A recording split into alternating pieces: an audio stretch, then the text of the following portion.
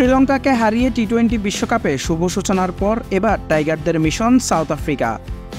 সোমবার দশই June south আফ্রিকার মুখোমুখি হবে বাংলাদেশ। খেলাটি শুরু হবে বাংলাদেশ সময় রাত আটটা ত্রিশ মিনিটে। ভেনু, নিউ ইয়র্কের নাসাউ কাউন্টি ক্রিকেট স্টেডিয়াম। এখন পর্যন্ত দশটি টি টোয়েন্টি ম্যাচের দেখায় সাউথ আফ্রিকা জিতেছে নয়টিতে, বাংলাদেশ জিতেছে মাত্র একটিতে। এই ম্যাচে যেই ব্যাটারদের ওপর বিশেষ নজর থাকবে। বাংলাদেশের তাওহিদ হৃদয় এবং মাহমুদুল্লাহ রিয়াদ ও দক্ষিণ আফ্রিকার রেজা হেনরিক্স এবং অধিনায়ক এইডেন মার্ক্রাম।